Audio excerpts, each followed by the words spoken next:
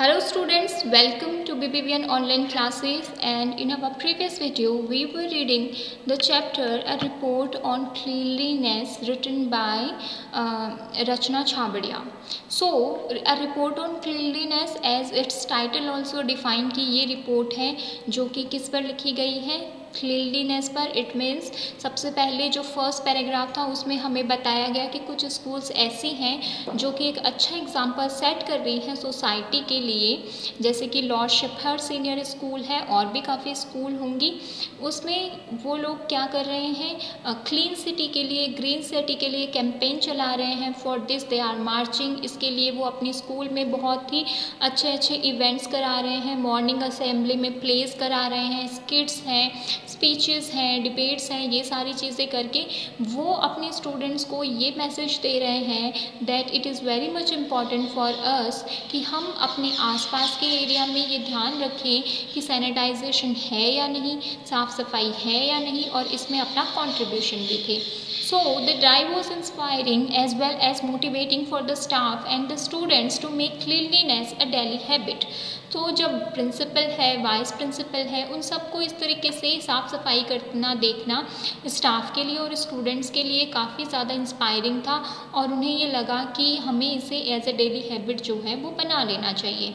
It also made the student realise that any work is best done when it is carried out by a person himself और her self और ये चीज़ भी student को realise हुई कि चाहे कोई भी वर्क हो, वो तभी सबसे अच्छा किया जा सकता है जब हम उसे खुद करें। And it also taught them the important lesson of dignity of labour dignity of labour मतलब आप हर एक तरीके का जो काम है, उसकी क्या करें, हम इज़्ज़त करें, सम्मान करें, उसको ऑनर दें। तो एक झाड़ू पकड़ के गार्बेज को चुनने वालों की भी हमें बिकॉज़ ऑफ़ लेबर जितना परिश्रम करते हैं, उतना इंपॉर्टेंट लेसन उनको सिखाया। The principal of Saviour school has a unique approach to cleanliness. जो प्रिंसिपल हैं सेवियर स्कूल की, उनका तो एक अलग ही नज़रिया था क्लिनलीनेस की तरफ़। The school has an agenda of action points for students teacher and other staff members to ensure that the school remains clean and free of clutter तो उनका एक एजेंडा था स्कूल का कि हम क्या करेंगे? अपनी सराउंडिंग को क्लीन रखेंगे। फ्री ऑफ़ क्लटर मतलब किसी भी तरीके के कूड़े कट, कच कचरे से अलग रखेंगे। तो इसके लिए उन्होंने वो लोग एक्शन पॉइंट्स देते थे स्टूडेंट्स को टीचर्स को और स्टाफ मेंबर्स को, ताकि स्कूल जो है वो एकदम क्लीन रहे। The staff and the students take the cleanliness pledge called swachhata pledge every day during the morning assembly और स्कूल के स्टाफ और जो बच्चे हैं, वो मिलकर जो हैं एक प्लेज लेते थे स्वच्छता प्लेज जिसको कहा जाता था मॉर्निंग असेंबली में हर दिन।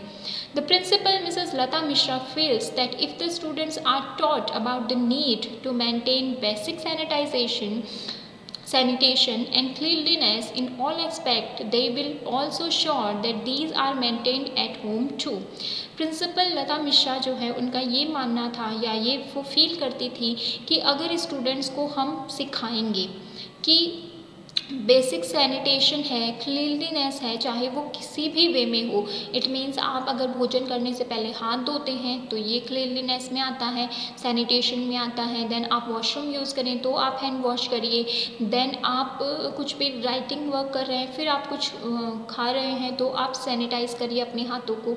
तो ये छोटे छोटे एक्सपेक्ट जो हैं, वो they will also ensure that these are maintain at home too तो बच्चे अगर यहाँ पर सीखेंगे तो वही चीज़ अपने घर में भी वो अप्लाई करेंगे।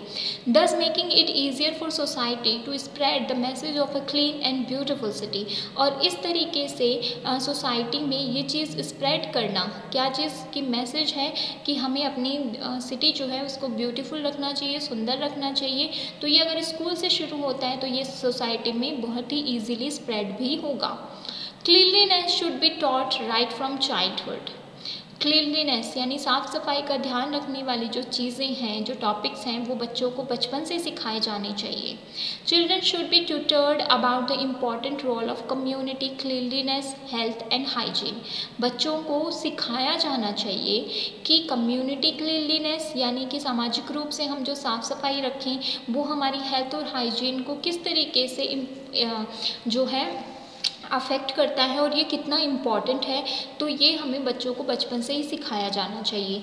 They should be educated about the benefit of maintaining a clean society said Lata Mishra. और लता मिश्रा कहती हैं कि बच्चों को एजुकेशन दी जानी चाहिए कि साफ़ सफ़ाई रखने के सोसाइटी में हमें कितने बेनिफिट हैं। As we can teach it as a subject Lata Mishra कहती हैं कि हम एज अ सब्जेक्ट तो इस चीज़ को नहीं पढ़ा सकते, जैसे कि हम केमिस्ट्री पढ़ाते हैं जोग्राफ़ी पढ़ाते हैं बायोलॉजी पढ़ाते हैं we did the best thing तो हमने, यानी कि हमारे स्कूल ने एक और भी अच्छी कोशिश की। We give prizes to student who maintain cleanliness and appoint students as cleanliness monitors तो हम उन बच्चों को क्या करते थे? प्राइज़ करते थे, यानी कि उस, उनको अवार्ड करते थे जो कि क्लिनलीनेस यानी साफ़ सफ़ाई मेंटेन रखते थे और हम जो है क्लीनलीनेस मॉनिटर जो है वो भी बच्चों को अपॉइंट करते थे तो कि वो ध्यान रखें। These monitors are given the responsibility of keeping the classroom and the school campus litter free और ये मॉनिटर क्या, को रिस्पॉन्सिबिलिटी दी जाती थी, ये कर्तव्य दिया जाता था उनको कि वो क्लासरूम में और स्कूल कैंपस को लिटर फ्री रखें। इट मीन्स कूड़े कचरे हैं, कहीं पर भी लोग पानी गिरा देते हैं तो इन सारी चीज़ों का ध्यान रखें।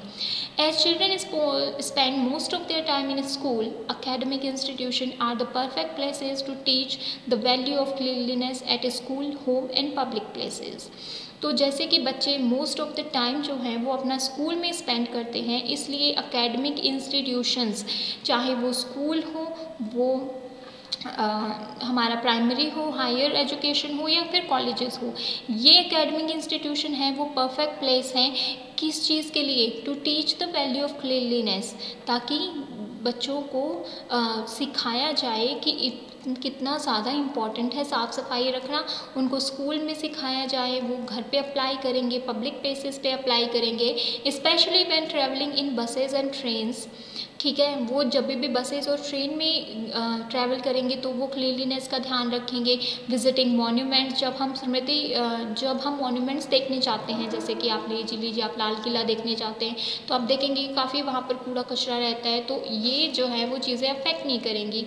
एंड अटेंडिंग फ़ंक्शंस और जब भी हम फ़ंक्शंस अटेंड करेंगे तो वहाँ पर भी हम जो है काफ़ी साफ़ सफ़ाई रखेंगे।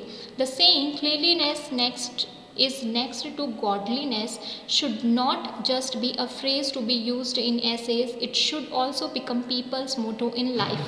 और रचना छाबड़िया कंक्लूड करते हुए कहती है कि साफ़ सफ़ाई जो है वो गॉडलीनेस के करीब ही है। तो ये केवल एक फ्रेज़ के तरीके से हमें एसेज में खाली यूज़ ही नहीं करना है। इसे हमें अपनी लाइफ का मोटो भी बनाना है।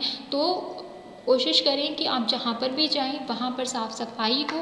प्लस आप जो हैं चाहे वो पब्लिक प्लेसेस का यूज़ करें आप चाहे बसेज और ट्रेन्स का करें मोनूमेंट्स में कहीं पर विज़िट करने जाएँ या फिर फ़ंक्शंस अटेंड करें वहाँ पर भी अपना जो आ, साफ़ सफ़ाई है और सैनिटेशन है उसका हम ध्यान रखें। So this is it for today you have to do the glossary work and its question answer we will discuss in our next video thank you